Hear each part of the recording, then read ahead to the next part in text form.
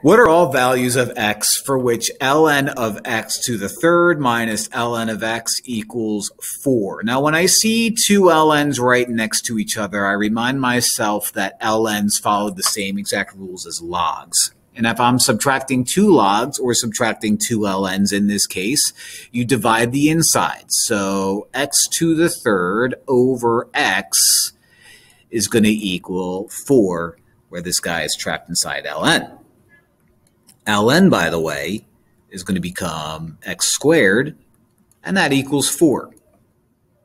Now, you can rewrite this as e to the 4 equals x squared because of those ln rules.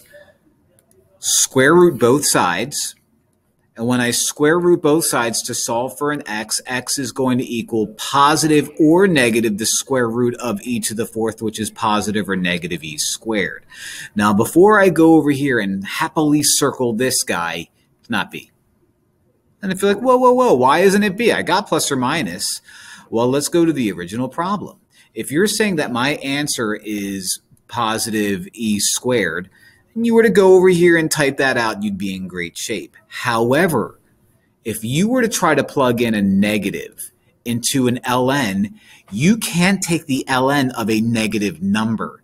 It is undefined. So, can't be b. So, this is incorrect. The only answer that I have is e to the second, the positive version, which is going to be c. So, really tricky problem. I'm not a fan again, it's one of those you know problems where most people would probably put B, and only the really careful people would put C. But you're just gonna have to be careful, I guess.